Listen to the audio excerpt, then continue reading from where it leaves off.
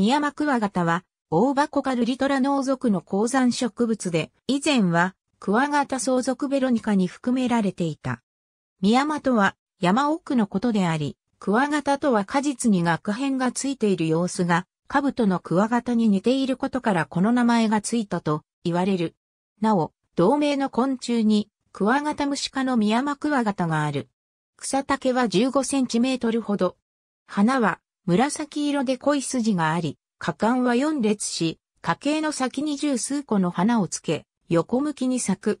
幽髄及び死髄は花の外に飛び出している。果実は果て。茎は分かれず直立し、毛が生える。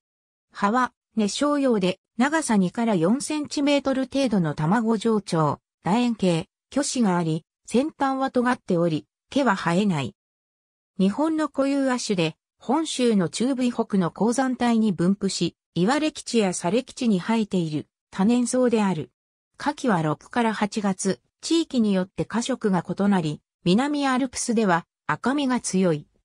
エゾミヤマクワガタ元亜種、キクワクワガタ P、シュミドシャナムサブスプ、シュミドシャナムは北海道とカラフトの鉱山帯に分布し、全体に毛があり白っぽく、葉の巨子が深い点が、形態の相違点である。本亜種は、花の色や分布などにより、いくつかの変種、品種、例えば、北海道に分布する、エゾミヤマクワガタバリエーション、イエソアルプイナム、白神山地に分布する、白神クワガタバリエーション、白神遠征、本州の大宇山脈に分布する、道のククワガタエフトメントッサム、山陰地方等に分布する、大山クワガタ F 大セネンセなどに区別されるが、文献によって扱いが異なっている。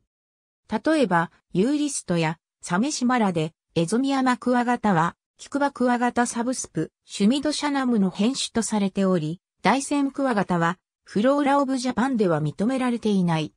北限及び南限の地域の都道府県のレッドデータブックに掲載されている。ありがとうございます。